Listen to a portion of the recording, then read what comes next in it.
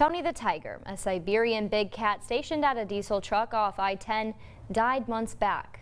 Animal rights activists fought years to have him moved, but the owner decided to get a new pet, this time a camel. Local 33's Justin Campbell is live with more on his new plans. Justin, what can we see out there?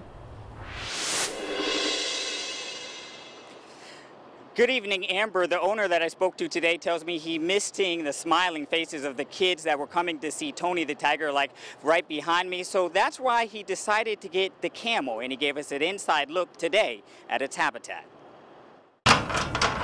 As the gates open, owner Mike Sandlin Are, are you a camel? Are you a white camel? is embracing his new pet, Casper, a five-month-old camel. baby. Come on. Come on, man. Hey, buddy. He's taking Tony the Tiger's old cage, but the Animal Legal Defense Fund not on board, saying the truck stop's decision to obtain a camel simply proves it's a business that exploits animals to promote its business.